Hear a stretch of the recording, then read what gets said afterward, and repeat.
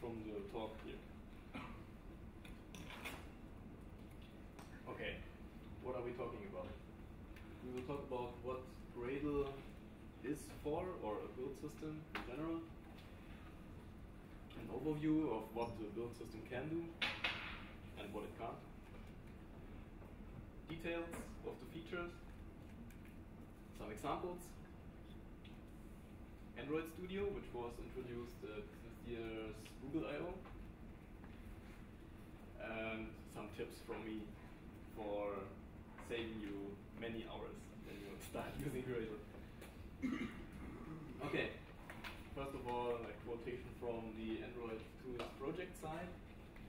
Um, it's, it's like that since the beginning of, of the pre-alpha from the Gradle build system. Uh, it says, we are working on a new build system to replace both the build system inside ADT and Ant. So it's, it's going to be a, a combination of positive features of both of them. Okay, what, what needs a build system? What mm, should it be able to do for you? You, you should be able to, to easily reuse your code and all of your resources. You shouldn't need to copy paste stuff and, and re easily reuse the code you write to save time. It should make it easy to create several variants which is basically uh, a free and paid in most cases, or, or other variants. And yeah, it's called flavors. Um, you should need to, to um, yeah, extend and edit and configure the configuration of the build, which basically means in most cases just a, a debug build and a release build. Okay, the elements of, of the Gradle Android build system are product flavors. Uh, I just talked about quite quickly now. Um, flavors are basically small changes in, in your code or in your resources. Uh, it might just be something like a, a different package name of your Android app for the free and the pro version, for example. Then there are build types, which are configurations I just talked about, debug and release. There are build variants, which is basically a combination of both. Flavor groups uh, allow you to group flavors together, for example, for different architectures if you're using native code. Then there are source sets, which basically tells the build system where to find your source files, your resource files, your AIDL files, whatever it needs to find. You can tell them where it is. And of course, the big point is testing. And Gradle also takes care of the testing part. Okay, the product flavor. Uh, from the documentation, it says a product flavor defines a customized version of the application built by the project. That's basically it. The new concept is designed to help with the differences that are very, very minimal, as I've already said. But if you just want to disable ads in one version, or if you just want to change the package name, or exchange icons for different language versions, or stuff like that. But there are already library projects. Well, those are still there, and those are still supported, but um, well, you can see it as uh, very minimum changes are uh, um, product flavors, and if you have a, a, really big blob of code and resources and stuff that you want to use in different apps that have nothing in common. For example, Action Bar Sherlock. Many of you will know it. Uh, then you can still use, and you have to use, library projects. Or if you want to make your library project open source or something like that, like Action Sherlock and other projects, then library projects are still the way to go. What can we customize in those um, product flavors? Basically, you can customize everything, well, mostly everything that is in your manifest. Um, of course, not activities and stuff like that, but most of the properties that go in the application tag and above. So you can customize the minimal SDK version, the max SDK version, the target SDK version, the code and the name, of course, which is great because you are now you can script those things um, your build environment. you can change the package name and the releasing info, of course. So release signing and stuff, APK signing is every what is integrated in the Gradle system. Um, you can customize the build config. Uh, build config was introduced back in some updates for the ADT. It's basically a, um, a class that is automatically generated for you by the Eclipse build system, it was. And it contains by default only a flag if it is a debug build or not.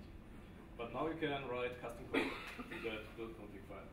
For example, you can integrate the build timestamp or the git revision code or something like that. And you can already customize the uh, NDK filters, but um, the NDK is not supported fully yet. This is, um, I come to it later to the roadmap. And you can customize the tests.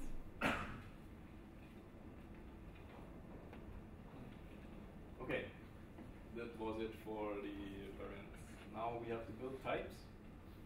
From the documentation again, a build type allows configuration of how an application is packaged for debugging or release purpose. Well, that's maybe uh, all the, the, there is to say about it. Um, you should not create different versions with that. It's uh, really only to configure the build process. Um, for different versions, we have to build variants, uh, flavors. Um, but we can customize many things here too. Basically, the stuff that is in the in the manifest and the debug and release flags. We can enable disable ProGuard, which was introduced in the latest update of the Gradle system, I think. So now it's implemented. Sorry. Um, well, all the debug signing flags. Um, you can add uh, package name suffix. So, for example, you can tag your debug builds with the package name suffixed by .debug.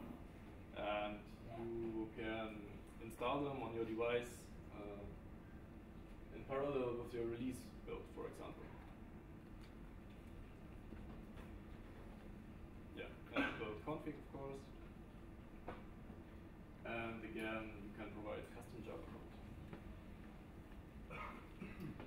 Um, no, if you configure nothing, for the build types, there is a release and a debug build. Uh, that is automatically generated for you, but as you can see on the left side, you can edit it to your purposes. Then we have the build variants, which is basically the, the cross product of the flavors and the uh, build types. So when you define no flavor at all, then you have uh, a debug build and a release define two flavors, for example, free and a paid app, then you have, of course, four, because you can build a free app in debug mode, as well as the paid app in debug mode, and both also in release mode. Um, I will do short stops after every slide um, for you to ask questions so that nobody gets lost on the way. Any questions so far? Okay, perfect. Okay, we have flavor groups. Um, as I already said, you can group the flavors by architecture, for example. For, for other grouping stuff, but the most common group is, is architecture stuff. So you can customize your code for um, ARM or XX, x86 uh, architectures and everything that is elsewhere in your build environment. then we have source sets, which, which will be very important later if we come to Eclipse compatibility and stuff. So basically you can do a custom mapping of your source files, like Java code, resources, everything else. It's configured by default for you for the standard folder architecture structure, uh, but you can reconfigure everything.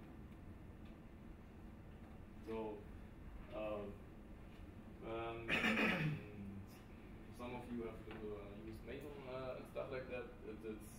Has a similar folder structure like that. You have a source um, directory, and under that you have basically the, the, categories of source files that you have. For example, Java, JNI, resources. REST is uh, not to confuse with resources, because resources is for Java resources, which we don't use in Android, basically, and we have the REST directory, which is the REST directory that you know from your normal Android development. And another important thing is uh, you have the flavors uh, here under your source folder, and you can put in there everything that is um, custom to your specific flavor, and it will override the stuff that is under the main folder. You can override everything, like Java files, uh, resources, images, whatever you want. And we have testing for the big part, and there have been lately many good frameworks, open source frameworks on GitHub also, that give very good UI testing, for example, for Android. And in the past, you had to create a, several, a separate project for a test and link it to your main project, and uh, you had uh, two projects to manage and stuff like that. But now it's only one project. And it's part of the main project and simply lies under the test directory. Source test. And you can also provide custom tests for custom flavors. For example, you can test if in your paid version no ads does appear, for example. Then we have the library project. Basically, they are similar to every other other Android project, but there is no product flavor. It's not supported for library projects. Well, it doesn't make sense. And there are debug and release builds, but they're not used exactly like in normal Android projects. Um, when you build a library project by itself, it is built as a debug uh, build, and if you package the library as a blob um, with your main app, then it is built in release mode. Um, just a side note, here it's still called blob because when I wrote this slide, there wasn't a format for library projects. Uh, but now there is, it's called AAR, and um, it's official now. Long time they said, uh, well, this is this is the format that your library project should, be packaged with, but please don't use it publicly. It's not finished yet, but now you can use it, and there are many projects on uh, Maven Central, for example, that already use the AAR project, and you can use it with your Gradle build. The most popular example, most likely, is ActualDevelop, which published the AAR artifact a month ago or so.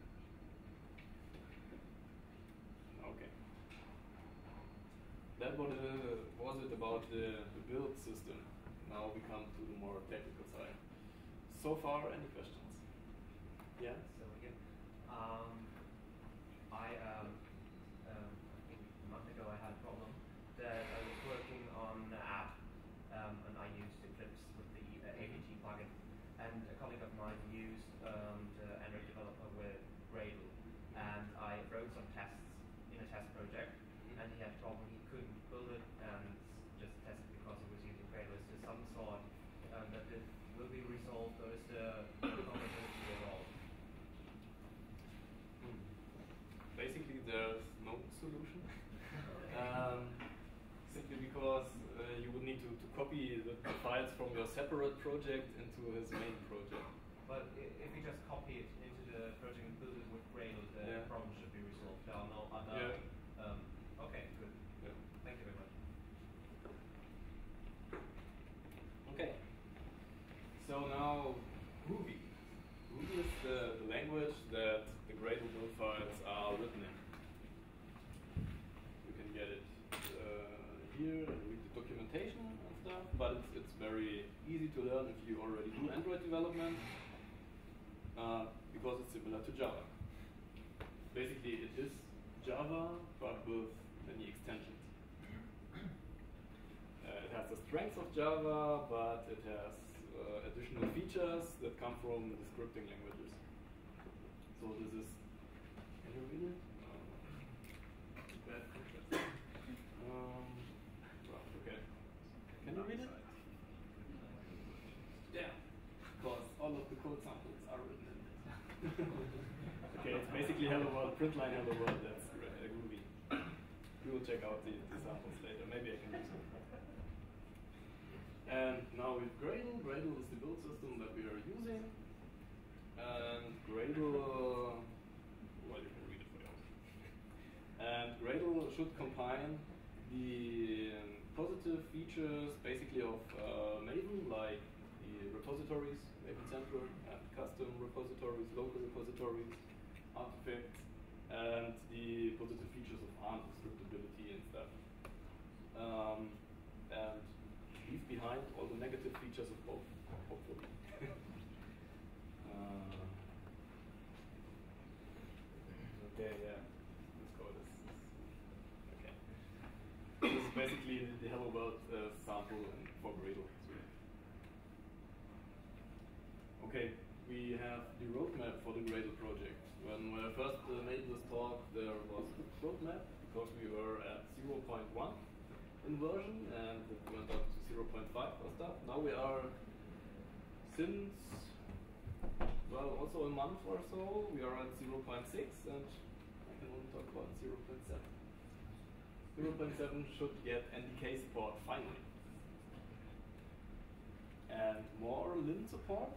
Lint is already supported, but it should get a, a wider support, better IDE integration and stuff like that better test support yet. We have no MR support right now. um, there should be support to define emulators, create and start them inside your build file. And you can run your tests on multiple emulators that you have defined. Okay, basically, how did we code in the past? Well, the worst scenario is we had multiple projects that we copy and pasted for different versions and stuff. Well, the okay approach was to use library project to make a central point where central point where you have your code and you generate multiple projects out of it. well, now we have only one project that has it all the Gradle config and the sources, and from that central um, point project, uh, we can generate multiple final APKs Android apps. Okay, now I will show you the samples, and I, I hope we can somehow read them. Are the slides available online Yeah. now? And Later or no? I will post them after Okay. after the presentation. Excuse me, if you shade the window. Yeah, yeah, maybe that, that can help, yeah. Uh, yeah. okay. Es gibt auch über die Köpfe ein bisschen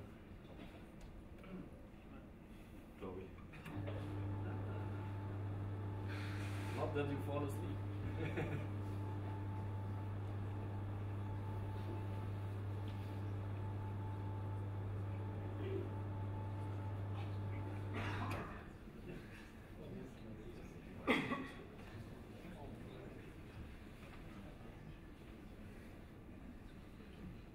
Maybe I can just um, make them a little larger so that you can read.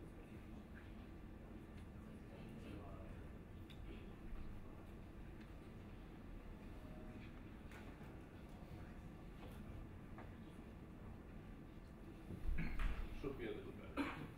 Okay, basically this is a Hello World example for an app that simply launches an activity and prints Hello World. So what do we have? The first block is a build script block. There you can define what stuff your build script, when it is launched, will be configured with. Basically, that will always be the same. You won't have to change this. We will include the repository, which is Maven Central, and Google has put the artifact for the Gradle build system for Android in Maven Central, and you can simply integrate it. include it with that line of code. Um, the only special thing that you might change someone in the future is the version number, because this uh, increases well, every week or two. Uh, you can do a little trick. This here is a plus sign, and this is basically uh, a wildcard for for a version part, and this tells Gradle to always use the latest version that is available. So you could also replace the 6 with write 0 dot plus, then you will always get the latest 0 dot release when it comes out. Um, but it is uh, a good idea to stay with the 0 dot something releases because um, jumps from 6 to 0 or 0 to 8 later might break stuff that is underneath here. Okay, then in Gradle you apply plugins to your code. You use it for Java projects, you apply the Java plugin, and if you use it for Android projects, you apply the Android plugin. Then you have the ability to, to con- configure that Android block here. And this is where all the editable things that we saw on the earlier slides come in. So for a very basic example like Hello World, you simply configure the version of the build tools that you want to compile with, and for which Android target version you want to compile the app, and the target version. Those are the only mandatory things that you have to configure. And with this, you can compile a very basic example like Hello World. Then we have product flavors. Ah, it's already quite consuming the slides, but I will try.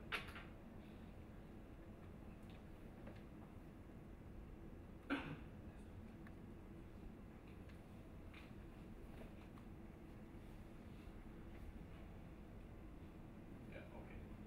Well, the block on the top is the same as always, and only our Android part is different now. Because what we do additionally to the Hello World example is we define a block called product flavors. And in there goes your flavor configuration. Um, just an example for when you have an app that you want to publish in the Play Store and in the Amazon App Store, because the Amazon App Store has very special guidelines of what you need to do and what you don't. Uh, you might have to create a separate version for that. And well, you might or you might not want to change the package name of the app that is generated. So in this example, I simply uh, use the Play Store suffix, and in the Amazon App Store example, I use the Amazon App Store suffix. So you will have one code, one project, but you will be able to generate both APK files uh, without any change on your code.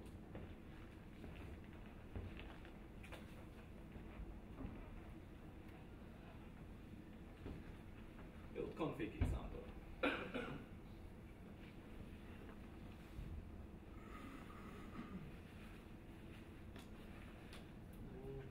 Okay, that's going to be true.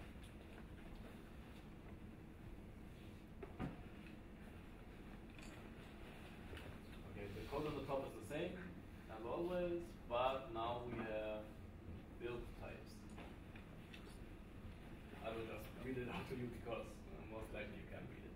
We have uh, a build types block which defines a release block and a debug block, uh, which are the two that are already created for you automatically, but you can customize them.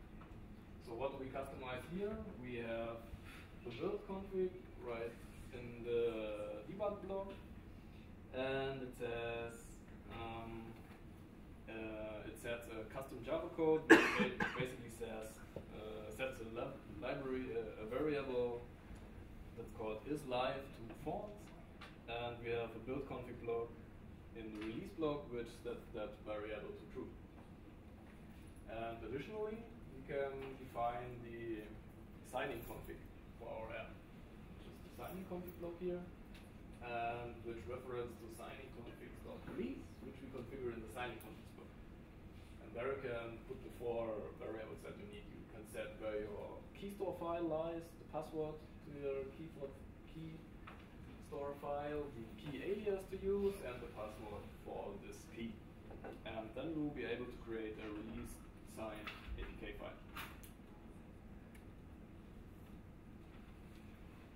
Okay, this is um, an example of how you can do an Eclipse compatible configuration with Gradle. Because under Eclipse, you have a different folder structure than you have the Gradle system. I showed it earlier to you. And you will have to map those source types that you have, Java code, resources and stuff, to the Eclipse folder structure. And that you can do with the source sets block for the main um, part. And you have to define where your manifest lies, where your Java files lies, the line of the source, and where your resource files lies rest, and where your asset files and stuff like that. You simply map it to the folders that Eclipse uses. And then you can build projects that come from Eclipse without any change. Okay, how do we handle library project? Basically, there is a settings Gradle, settings.gradle file where you can define what project exists in your project build. And you define a line for your main project and for the library project you want to include. And then later you have the dependencies block, like we had earlier when we included the Gradle artifact from Maven Central, and to simply uh, add a dependency, a compile dependency as a project, and give the path to your library that you want to include. Some more details on, on the dependencies. Well, basically, you, um, you can include everything that comes from a Maven repository. It also has support for Ivy repositories and some subsystems that I didn't hear of before. And you can simply define your dependencies uh, by the artifact string. That is basically the group name here and the artifact name and the version that you want to include. And as I said earlier, the AAR format for libraries is now the default format, and you can include those library projects support the at AAR um, architecture. And everything that is simple a jar file, you can just include with that one line above. Okay, what can you do if a library is not available in AAR format? Well, basically, you can do nothing right now. But uh, write a custom Gradle build file for the library project and include it in your project as with the multiple uh, multi-project build that I had two slides earlier. But there is one solution. Um, I have created two months ago or so uh, um, a Maven repository that is hosted on GitHub that you can include. Will find on, on the slides later. Um, it's basically the URL of the Maven repository, and you have to include it before the Maven Central part. And what we have done is we are compiling public library projects with a Gradle build file to an AAR artifact and publish it on, on the repository. So if we have already done so, you can include it from here. If not, you can simply write a ticket and we will do our best to include it. Okay, before we start with Android Studio, questions? None? Okay. We still have some time. Perfect. Good. Then um, Google introduced Android Studio at this year's Google I/O, which was awesome. Android Studio is very, very cool because it has Gradle um, support by default. It uses the Gradle build system already when you create a new project with the new project wizard. And but what do you do if you come from Eclipse? You have used Eclipse for years now, and now there's Android Studio. Uh, how do you get your project from Eclipse to Android Studio? Well, uh, Eclipse, when you upgrade to the latest ADT version, there is uh, an export wizard for you that can create Gradle build files for you, for your project. And if you do so, you can simply import those files that are generated for you. Those will be the files that are basically the files that I showed you earlier in the Eclipse compatibility example. Um, you will be able to simply import, use the import wizard of Android Studio to get your Eclipse project into Android Studio and continue developing with Android Studio. Well, of course, uh, an automatically generated build file isn't always perfect, uh, especially when your project is very complex. You might have to tweak it manually, but I didn't have any problems in the past, so the wizard is very good. Um, how do you import a project into Android Studio? Uh, well, simply use the import project wizard. Basically, that's it. And you have to select the, the main build, build Gradle build file, and Android Studio will do the rest for you. If it finds any errors in the, in the Gradle build file, it will tell you, and it won't import it, so you can resolve the errors, and then the import should work. Well, that will be the scenario, I as a freelancer have it very often, that your colleagues will still use Eclipse and you will use Android Studio. Well, that's not a problem too, because Android Studio can even handle an Eclipse project. Uh, of course, you will have to do some tweaking, um, but basically you can delete the .project and .class files that Eclipse generates, or just rename them or whatever. And then you can use the import wizard of Android Studio to just point it to the folder of your project, and it will find the Java sources and stuff, and the well, basically it will detect that there's an Android, Android project in there, and it will import it, and it will fall back to some compatibility compatibility mode that will not use Gradle to build, but Ant in the background. Okay. That was the informational part of the talk. Now we come to hints. Any questions so far? Yeah. Uh, IntelliJ, uh, as Android Studio is based on the product, uh, I suppose they also have some kind of support with Gradle. Excuse me. IntelliJ. Yeah, it is based. Uh, it basically, it is IntelliJ uh, yes uh, with the official Android plugin. yes.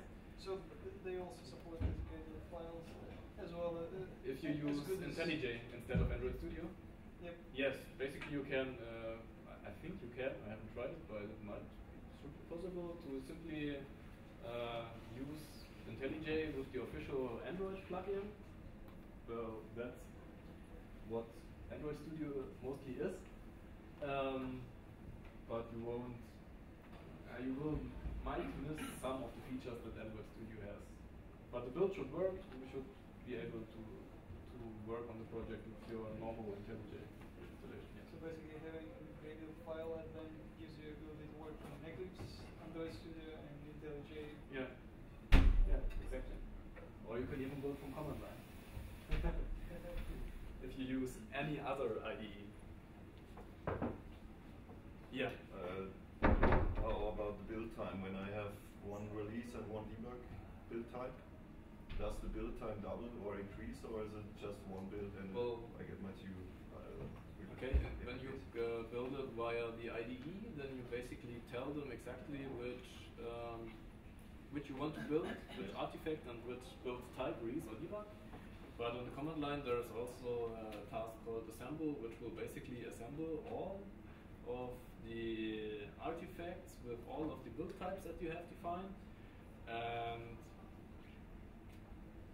depending on whether you override resources in Java stuff and all of that in, in your vari- in your flavors and in your build types, um, it might need to recompile stuff, or it might not. So if you if you don't change much but the package name, then it won't recompile stuff for you. And Okay. the build time shouldn't differ much uh, when you build two APKs out of one source. But it's only one build process Yeah. when I build release and debug Yeah. APKs.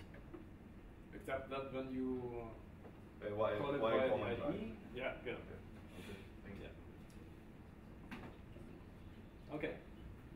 So here come the hints that will save you many times. Um, you should use Gradle 1.8. By now, uh, earlier versions of the Gradle build system for Android will support Android 1.7, but for the latest version you should really use 1.8 because you might get really strange errors that you won't understand and they won't make much sense uh, when you use 1.7. Um, basically, uh, Google has published a wrapper for that, which is basically a, a shell file that will download the proper Gradle binary distribution for you, so you won't have to install it on every uh, system that you want to build your Android app on. You can simply call the bash file and it will use the Gradle distribution that you have or download uh, a new one and use that one and you can find it in the Android SDK under the tools folder. Simply, simply uh, copy it to your project and it will use it. Well, if you want to switch to 1.8 you simply have to edit one line because of course when you have projects that you have done earlier it will still say 1.7.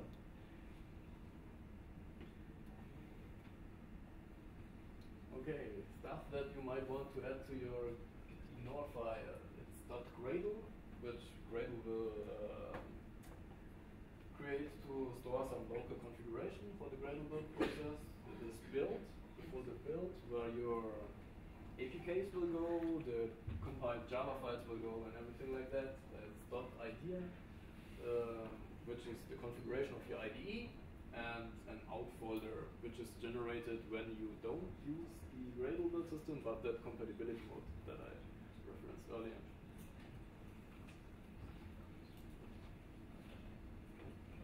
Um, the priority is stuff that you define in your Android manifest will override stuff that you do in your, your Grade, Gradle build file. So when you haven't configured something in your Gradle build file, then your manifest file will be used. And stuff that you do in the Gradle build file overrides the stuff that you do in your manifest. So you can add suffixes to your package name and stuff like that. Oh, okay. Um, one thing that you might get used to is that the libs folder is not automatically included in your build. And you have to tell Gradle that your jar, local jar files lie in the libs folder. Can simply do it with compile dependency. It's called a file tree, and you say it's the libs folder, and it should include everything that is uh, .jar.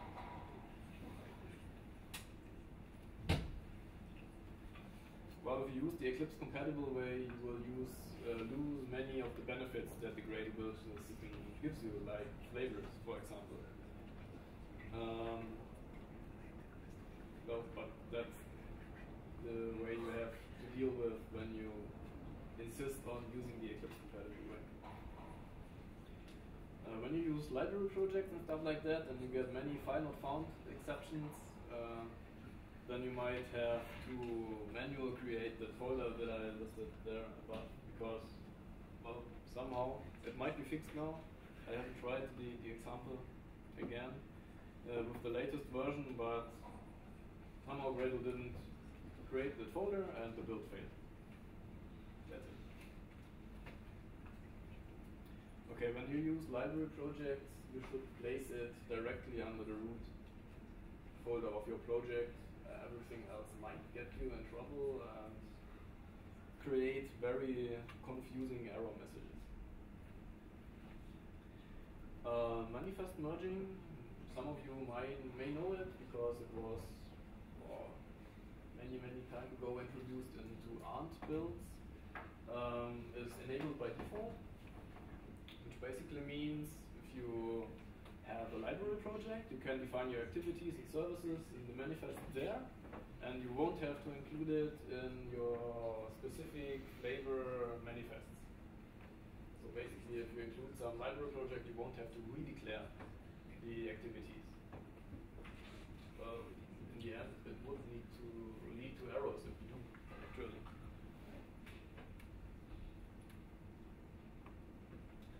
Uh, especially when you use the Gradle plugin that Eclipse has, it might happen that there are two Gradle processes running because some old Gradle process instance is not killed properly or stuff like that.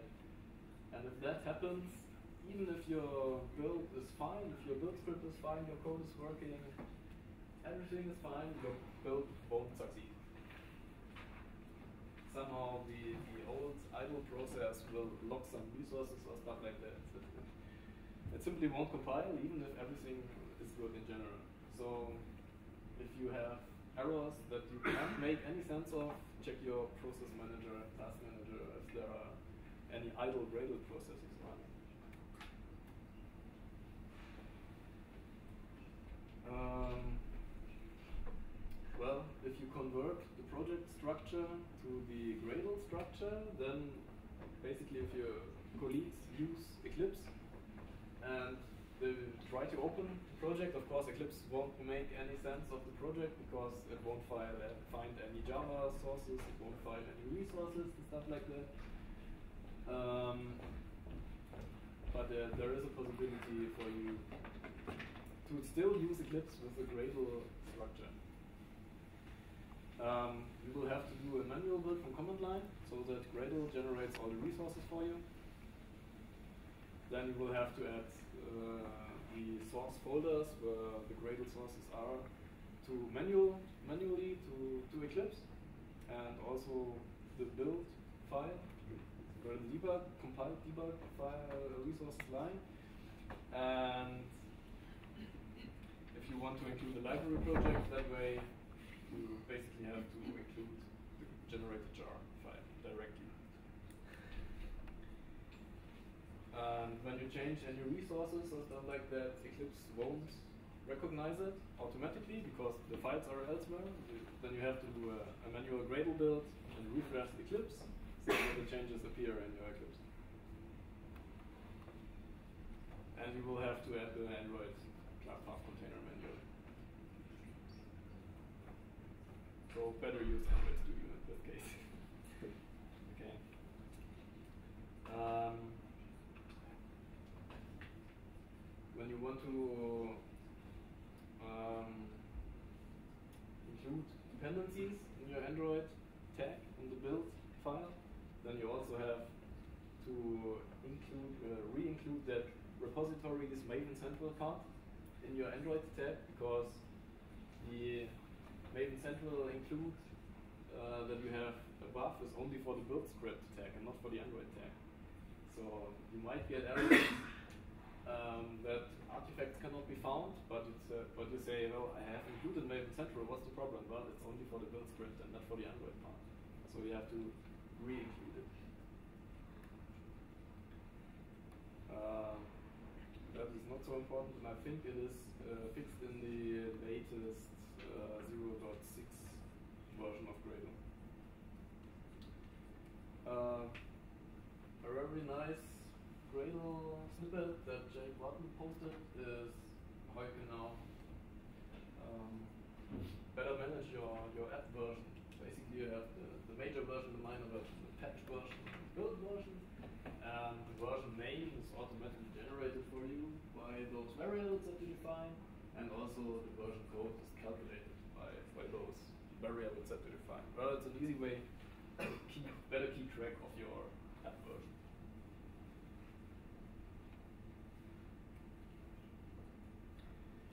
Um, if you want to create output signed release APK files, you might want to include the version name of the APK file and the file name. Because uh, normally you just get uh,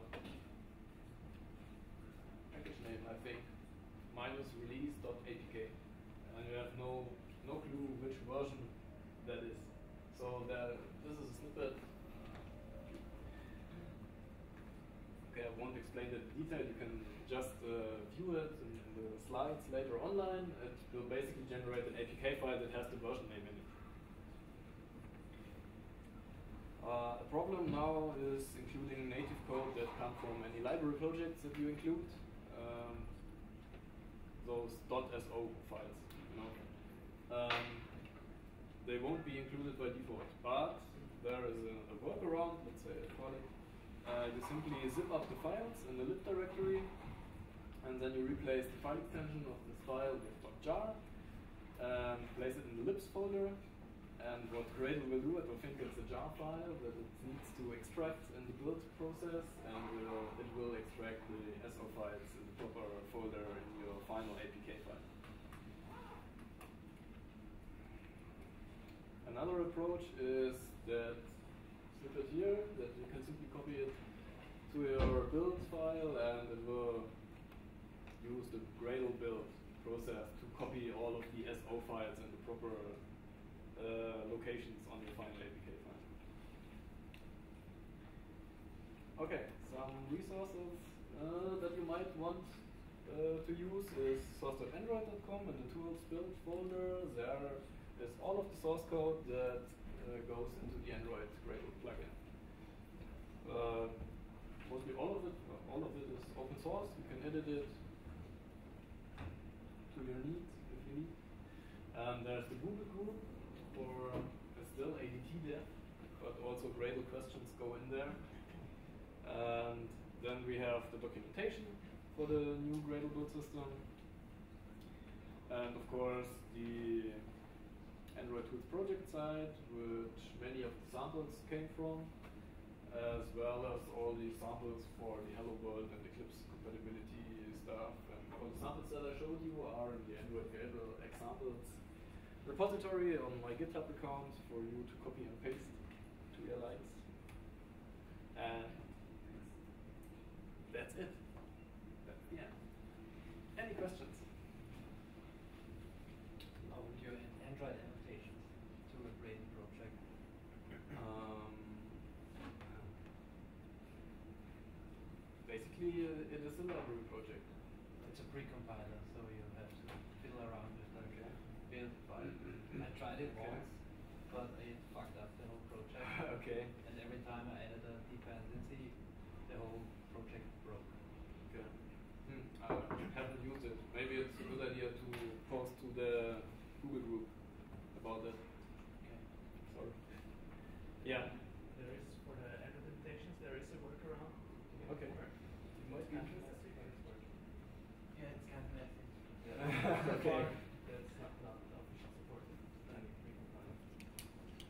Okay. Well, it's not on the roadmap either, so maybe it comes with 0.8. but if you ask in the Google group, they might uh, pay attention to it Okay. and add it to the roadmap. So they're very responsive uh, on the Google group and also on Google Plus. There is a, oh, I have I have mentioned it here. uh, There is a Google Plus community called Android Developer Tools, And the Gradle guys are in